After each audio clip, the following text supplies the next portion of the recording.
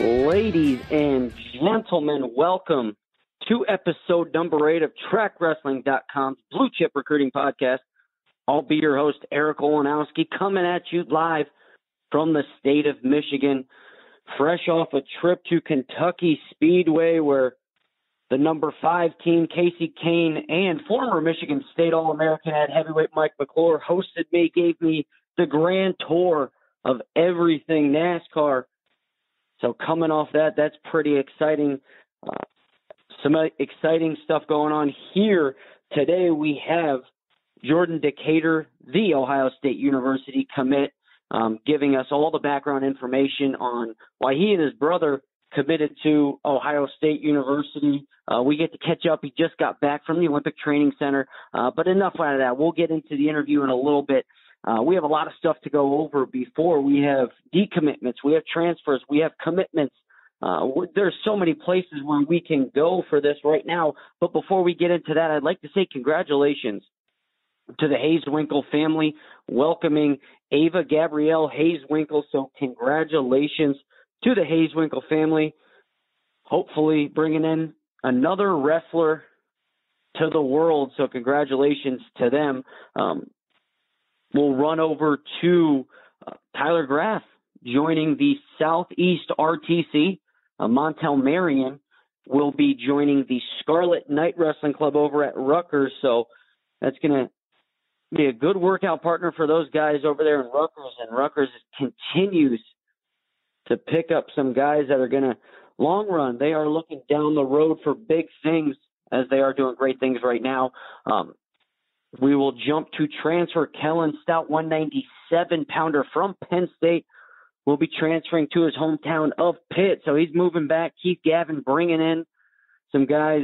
Uh, Kellen Stout, for those that don't know, 12 and 3 freshman season, 6 and 6 um, in his second season. So coming into his third season, doesn't have uh, too great of a resume or too expanded of a resume, but um, in that Penn State room, you have to think he's training around all those big guys, especially Jake Varner, Cael Sanderson. So he's going to have some experience. Um, Skylar St. John's, 165 pounder for Iowa. And you might be recognizing the name St. John's uh, being over at Iowa State. So uh, that's Derek St. John coaching on the coaching staff. So Skylar will be jumping over. Skylar comes in, uh, entering you know, his redshirt year zero and zero, freshman season four and two, sophomore season five and three, so nine and five as he head heads on over to Iowa State. Uh, what else do we have this past week? Uh, the big announcement for Nick Ramo to Arizona State. Uh, he's a four-time Fargo State champ, so Lee Pritz and the coaching staff over there picking up somebody with experience and that's that's something that you want to see. They're they're building up in the midweights and upper weights and they've done a tremendous job of getting guys um, to come in those middle weights and now they're starting to see those lower weight guys come up. So that's Nick Ramo to Arizona State. You have Jacob Camacho out of Connecticut a top 100 guy. Um, he will be heading over to North Carolina State University. Uh, Joel Shapiro, Fargo All American, Iowa State champion at 165 pounds, he will be heading to Iowa State. So we got a couple of Iowa State. We got a transfer in there. We got a commitment there. Um, and then the big one, Anthony Cassioppi, one of the best big guys in the country, committed to Northwestern. Um, flipped. We're gonna do. Might as well start a segment called Flipped because so many of these guys commit so early and then it, you you just you get to working with other guys or your friends talk you into it, family talks you into it, and you decommit. Um, but to each their own. So Anthony Cassioppi will be heading to the University of Iowa. Um, and another thing I want to touch on before we jump into the interview with Jordan Decatur is as a wrestling community, we have to stop being so gullible. The Penn State uh, Penn State not extending Cael Sanderson's contract, so Oregon is going to start wrestling, uh, start a wrestling program again, and Cael Sanderson has accepted the head coaching position. And we had people out there believing the hype out of that. Uh, I just want to say great job to Jason Bryant out there. Jason Bryant uh, always setting things straight. We all knew it wasn't it wasn't right, but and it, it wasn't true. I say we all, but there were some people out there that were believing it.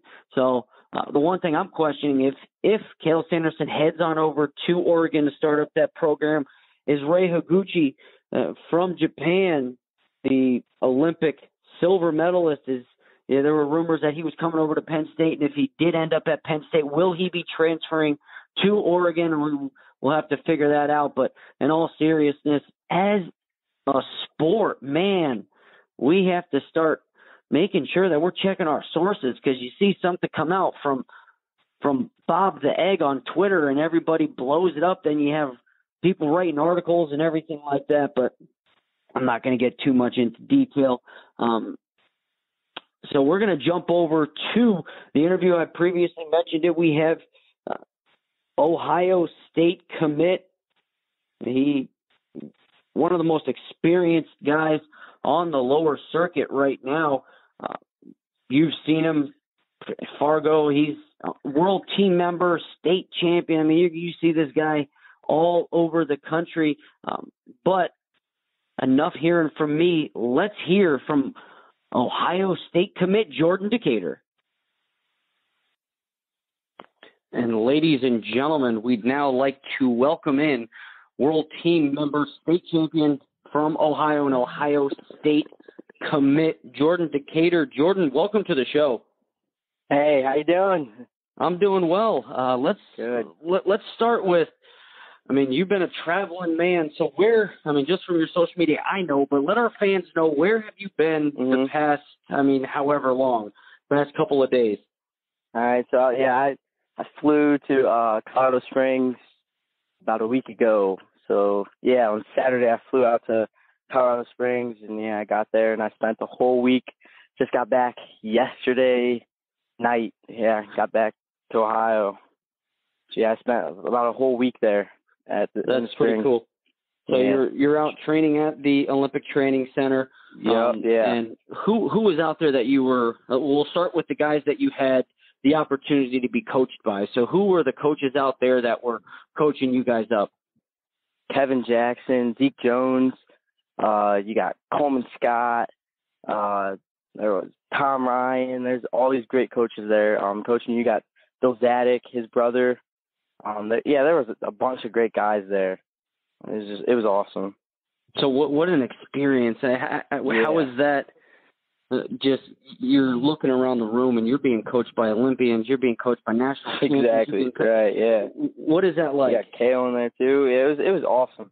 You just you look around like like you said, and you're like, wow, world champ, world champ, NCAA champ. You know, it the list goes on to you know, just numerous numerous accomplishments by each one of those guys, and uh, it, it was awesome to be able to see different um just different techniques, different type of uh, ways that people, you know, score and uh, just different mindsets from all these different guys. And um, yeah, it was mind blowing to, you know, just hear from all these guys who um, accomplished all these things that uh, everyone in the room would like to, you know, accomplish. So. so we talked about the coaches. What about the wrestlers? Who did you have an opportunity to work out with while you were there? Um, I drove a lot with with Nathan Tomasello and Logan Stieber.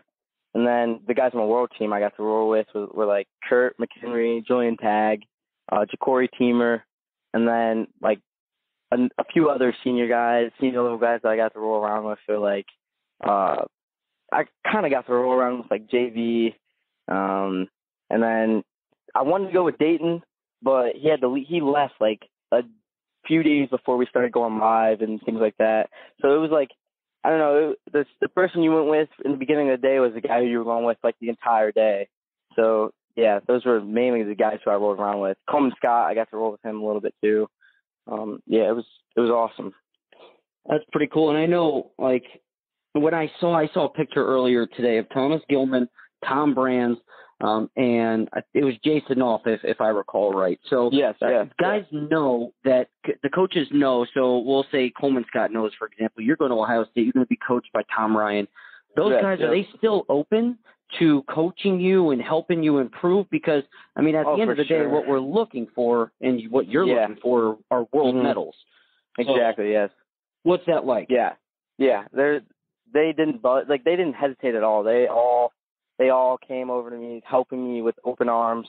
Um, a lot of them. They just you know, I like the list that I, I named. You know, they they didn't they didn't hesitate at all. They all came to me, and they all even though I'm already finished, you know, they all were friendly. They all um coached me and taught me different things. You know, like yeah, it was it was it was definitely shocking to me. I thought it was going to be, you know, just me and um, you know, the world team coaches coaching me, and then since Tom was going to be there, like him coaching me a little bit. But yeah, they they all they all chimed in and they all um were able to, you know, get some words out to me. And from your point of view, you felt Mhm. fully confident in just going up to anyone saying, "Hey, I I have a question here on this single. Can you come help me?" Or you no hesitation from your part.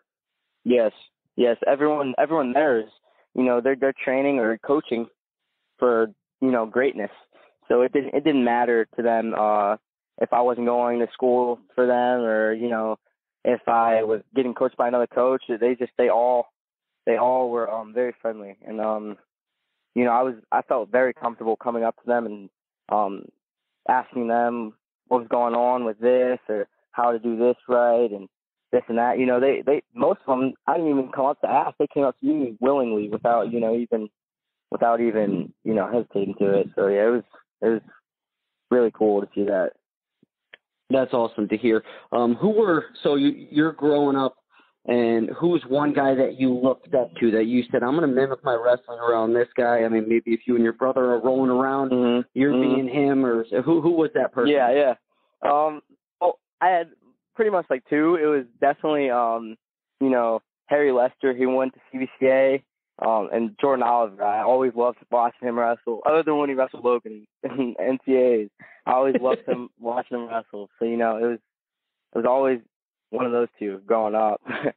Have you had an So, yeah. opportunity to meet either of those guys? Yes, yeah, both of them. Uh, Harry, who obviously went to CVCA, I get to see him often, very often, and he he rolls around with me and helps me out with some stuff. And then Jordan Oliver, I met him not this year at the OTC, but I went a few years back, and uh, I got to meet him there. And ever since, we've been you know in contact every once in a while. And yeah, he's he's awesome to see wrestle. I, I try to mimic him a lot more than anyone else. You know, he's real slick, real light on his feet. So yeah. And so you've been twice to the Olympic Training Center. Yeah, yeah, yep, twice so far. And how do you feel that that's benefited your wrestling? I mean, you've said just from a mental standpoint, you're getting Mhm. different takes from all these different coaches, but how have you benefited from that?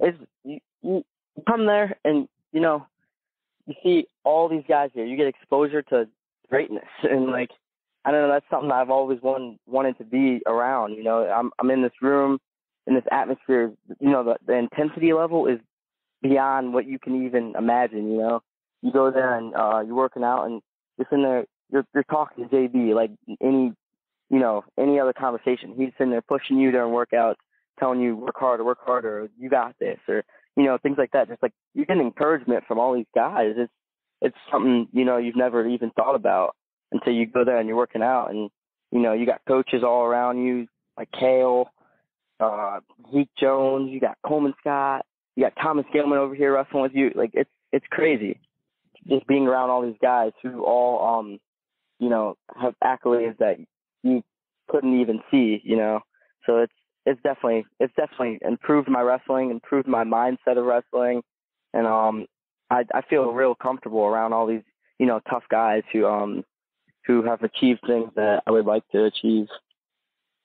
And we're talking with state champion from Ohio and Ohio State commit Jordan Decatur here on TrackWrestling.com's Blue Chip Recruiting Podcast.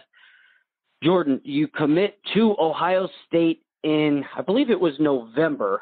Um, yeah, yeah, yep. It was the day before uh day before Thanksgiving. So before that, let's let's start out with. Um, I had previously previously mentioned you and your brother working out, Mhm. growing up. Your brother also a state champion from Ohio, a little a lighter guy, also Yep. committed to the Ohio State. But before we get into that, um, what were your was it was it a package deal? Did you guys know? Hey, we're going together. Yeah, as we were when we were really young, I think. All right, so yeah, when we were really young, we did a lot of different sports: wrestling, football, track, lacrosse, uh, soccer, basketball. You know, it was a bunch of different sports. We were just always active, and it didn't matter, you know, like what we were doing, but we planned to go together. So, um, yeah, we, you know, as we get more and more success in uh, wrestling, we start to, you know, get a few college looks and everything like that. And our dream school was always, it was always was Ohio State. You know, we always talked about like it would be sweet to, you know, put on that singlet, put on the jersey. You know, we love, we love Ohio State football, and so, um, you know, as time goes by, we become freshmen in high school, and you know, we're getting better and better. And eventually, you know, we get this option like, okay, you could possibly go to Ohio State, you know, and um, yeah, first Jacob he didn't really want to go to college for wrestling. Believe it or not, you know, as good as he was, he didn't want to go. And um, you know, I just kept talking to him, kept talking to him, like, dude, you know, you got you got a God gift, like you got a God given talent right there. You can't waste that, you know. Eventually, kind of got in his head, like, oh yeah, you know, I should probably do it. And so, um, eventually, he um, he believed that yeah, he he could be a college wrestler, and you know, time came, and sure enough, one of the first schools I talked to, Ohio State, you know. And, um, yeah, it was a package deal. You know, I was like, I'm not going if he's not going. so yeah, um, well, we're going to be teammates at Ohio State and uh, roommates as well. So, is there were there any other schools that were reaching out to you? I know um, around the area, you look at the Big Ten schools, uh, yeah, and there's countless of them, and you yeah, guys yeah. are in the prime of wrestling in Ohio. Mm-hmm. So, what other schools contacted you? Um, I I loved uh Penn State. I loved North Carolina and Arizona State. They were all really uh, my interest. Same with Michigan and uh, Oklahoma State. So those are like my like top five, top six. You know, we both. all perennial powerhouses. Yeah, yeah, yeah, yeah. Um, I definitely enjoyed uh, watching all the wrestlers there, and I enjoyed the atmosphere there. Um, I, I guess it would have been cool to, uh, you know, wait a little bit, maybe get a few visits in at those type, you know, those schools.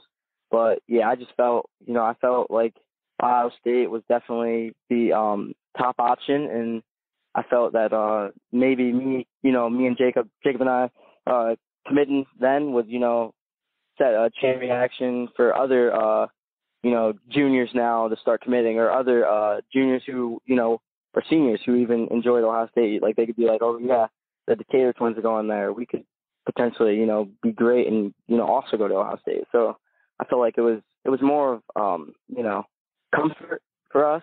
We felt yeah real real comfortable there. So um, it was yeah I think it was a smart decision. Um, I don't know. I just I've been still you know talking to like other like college coaches who come up to me and it, it's pretty cool.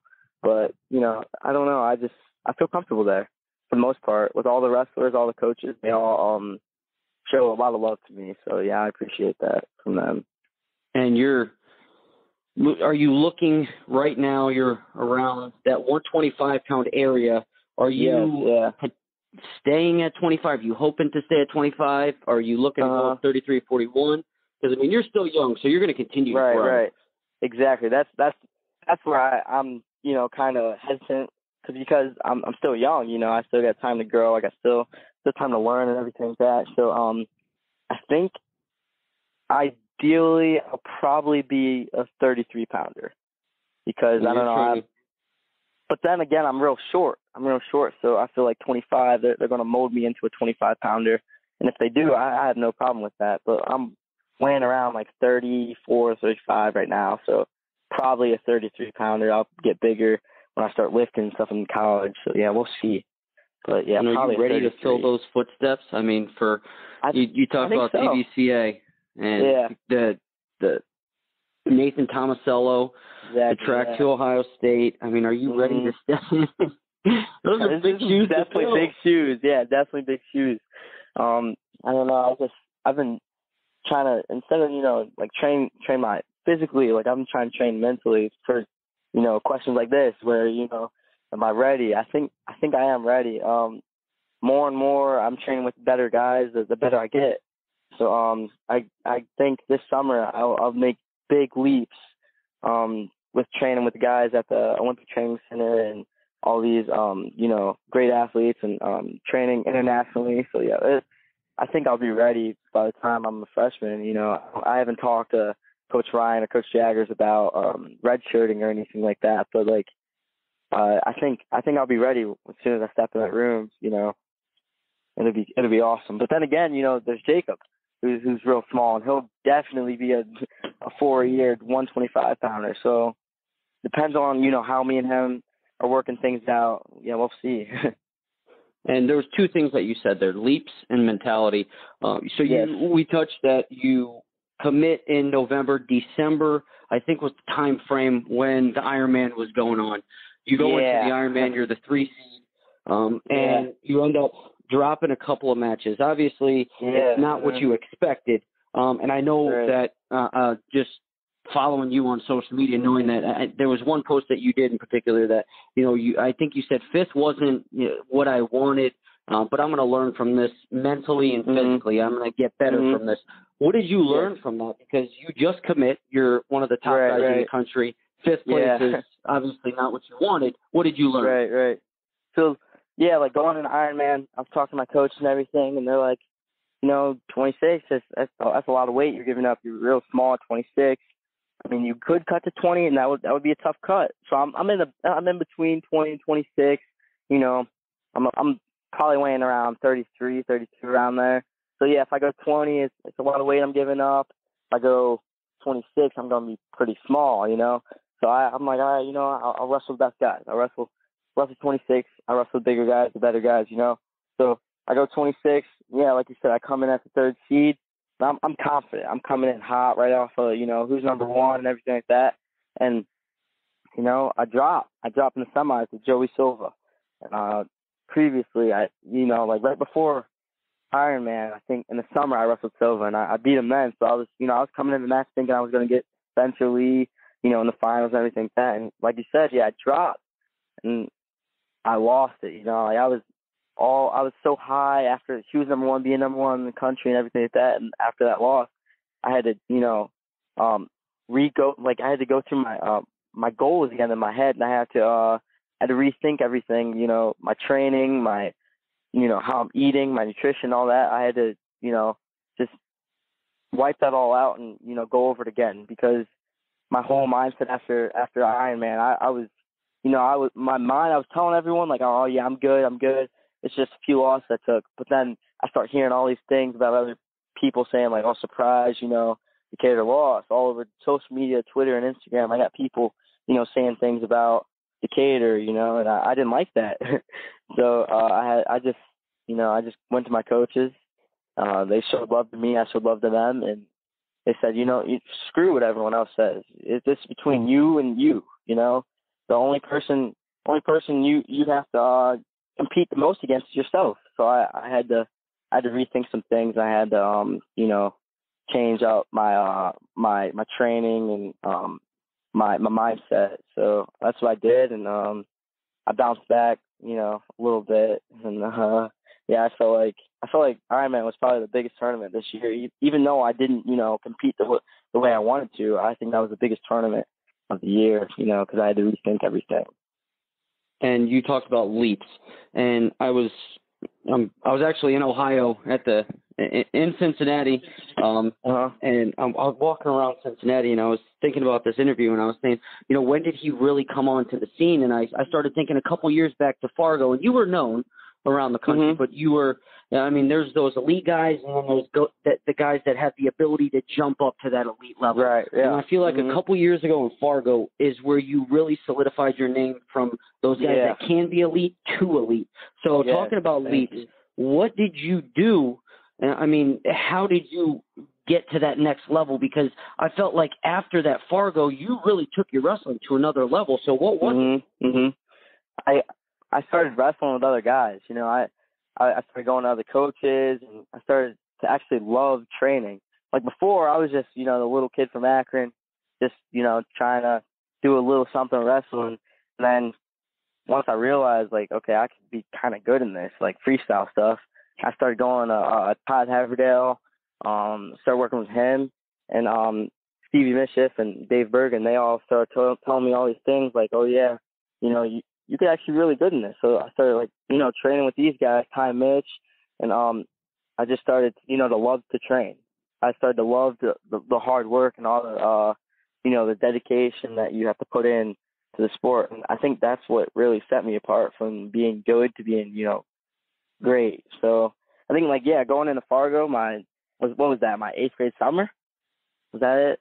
It was, yeah, no, my, yeah, yeah, my ninth grade summer. Yep. When I was going into ninth grade, yeah. I was like, I went in and I was this real small guy and I, I went 106 and, uh, I don't know, the whole atmosphere, like freestyle, that was like that, that was my first year wrestling freestyle. The whole atmosphere of wrestling it, I was just like, geez, this is this is fun. You know, I like this fast pace, just pretty much neutral wrestling. You know, and I I took it and uh, I learned from it, and I went in there and I, I I made a pretty big boom there, and I ended up winning it. You know, and from that point on, like after I won it, that feeling that I had from winning Fargo was probably the great. Like my first year, that's probably the greatest feeling I ever felt wrestling. You know, because I felt on top again, you know, and it was that was pretty much when I got that in my head where I could definitely be one of the best wrestlers, you know. So, so I'm gonna have a couple of questions for you, and these are kind of off the beat, beaten path. Okay. I want to know, Jordan Decatur, have you ever used the dog face filter on Snapchat? Of course. Who doesn't, you know? I'm always All on. Snapchat, you know. So that's number one. Ha- number two, have you ever bought an article of clothing or shoes just to be fly and you go out at night and maybe you're heading out with a couple of friends and Uh, you say then you think about it, you say, Man, I don't I don't know if I really want this and then you put the tags back on, bring the receipt back and bring yeah, it back. I do that. Yeah, you go to PacSun, H and M, you find something nice, you know, you try it on, you're like, dang, that's that's a nice fit. And then you go out and you're like, dang, like, you know, I noticed this, like it's a little too baggy around my waist. And I'm Right. like, ah, you start I gotta see pictures that, and you you say, know? Man, I'm not as fresh as I That's thought. definitely happened. I think I did that a few weeks ago actually at PacSun. All right. yeah. And have you, last one, I'm gonna leave you with this. Have you ever purchased one of those? Uh, you know how Coca-Cola has the crazy names. the name? Yeah, Yeah. yeah, yeah. yeah, I, I've never found my name actually. Like Jordan's a pretty common name, but I've never found my name. So I like Oh, I always try to find like these weird names. Like I think the last one I got, my name was like Juan or something like that. so yeah, yeah, I've never found my name, but I always like try to find some weird names. All right, so I got three things to take from that. PacSun, H&M, watch out for Jordan Decatur, and Coca-Cola, make his name. right? Yeah, make my name. So that's all I have for you. Um, Yeah. Tables open for you here. Let our our fans, your fans, let everybody know. Let the wrestling world know where they can follow you on social media. All right, um, Instagram zero air Jordy zero. Um, and Twitter, uh, I think it's just might be just Jordan Decatur. Follow me on Twitter and Instagram, and then add me on Snapchat, Jordan Decatur as well. No spaces. And where can add they me, watch you guys, wrestle? You know, got a lot of videos on Flow and Track, and um, you'll see me next at Worlds. Hoping to get a gold medal there. All right. So for everybody here at Track Wrestling, that's been it for episode number eight of TrackWrestling.com's Blue Chip Recruiting Podcast. I've been Eric Olanowski. Make sure you go to Track Wrestling. Um, Jack and Westland, anywhere, go to it. anywhere you have social media accounts, make sure you follow at Track Wrestling. That's been it for episode number eight. Thank you guys very much for listening.